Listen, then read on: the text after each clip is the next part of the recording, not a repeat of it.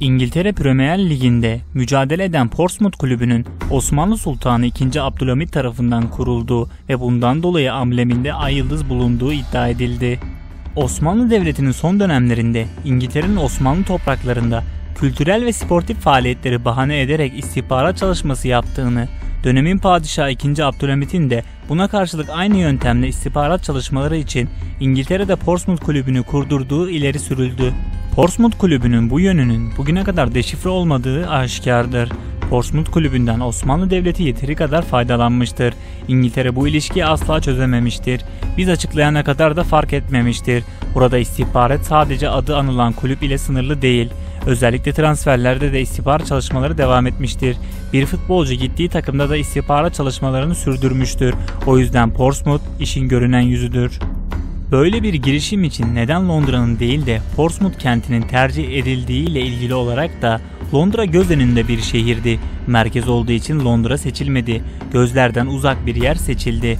Portsmouth'un seçilmesinin diğer bir nedeni de bu şehirde İrlandalıların aktif olmasıdır.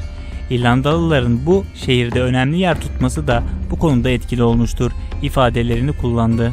Osmanlı Devleti'nin aynı dönemde eğitim amacıyla Portsmouth kentine gönderdiği donanma gemisinin de bu olayla bağlantısının olduğunu ileri süren Keleş, dönemin en etkili ulaşım araçlarının gemiler olduğunun altını çizdi. Portsmouth'un resmi sitesinde yer alan kulübün amblemindeki ay yıldızın 1189-1199 yılları arasında İngiltere'yi yöneten Kral 1. Richard'a ait olduğuyla ilgili iddiaların ise tamamen uydurma olduğu söyleniyor.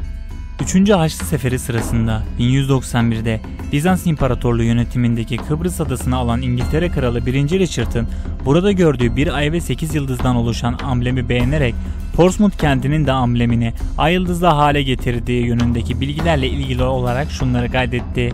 Kral 1. Richard'ın olayı tamamıyla uydurmadır. Bakın Sultan Abdülhamit Han'ın türbesine gidin. Türbesinin duvarlarında taş kabartmalardan yapılmış o şeklin aynısını göreceksiniz.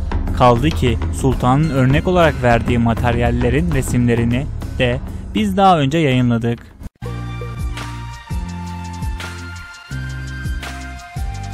Videomu izlediğiniz için teşekkür ederim arkadaşlar. Beğenip abone olmayı unutmayın. Hoşçakalın.